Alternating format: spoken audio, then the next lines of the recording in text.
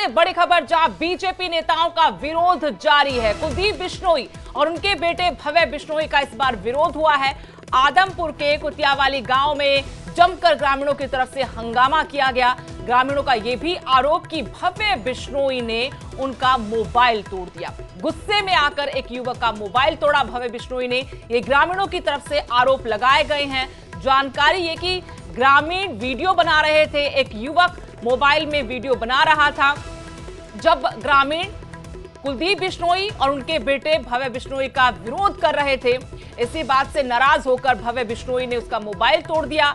अपने बेटे भव्य बिश्नोई के लिए चुनाव प्रचार करने आए थे कुलदीप बिश्नोई। आदमपुर से एक बार फिर भारतीय जनता पार्टी ने उनको टिकट दिया है।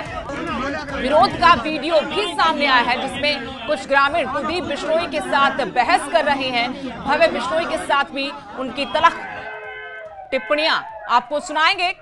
एम्बियंस के साथ इस पूरे वीडियो को आरोप ग्रामीणों का यह भी कि भव्य बिश्नोई ने वहाँ वीडियो बना रहे एक युवक का मोबाइल छीन लिया और उस मोबाइल को तोड़ दिया। लगातार बीजेपी के नेताओं का विरोध हो रहा है। अब कुलदीप बिश्नोई, उनके बेटे भव्य बिश्नोई का आदमपुर के गाँव में विरोध हुआ है। इससे पहले अनूप धाणा को हमने देखा।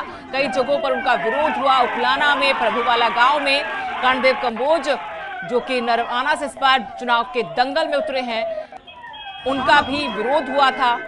विनोद भ्याणा हांसी से बीजेपी के उम्मीदवार, उनका विरोध हुआ था। किसानों ने विरोध किया था, सवाल जवाब किए थे, तब उन्होंने कहा था कि मुझे वोट मत देना।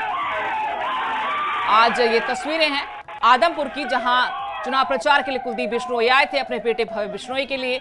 वहाँ पर ग्रामीणों ने उनका विरोध किया।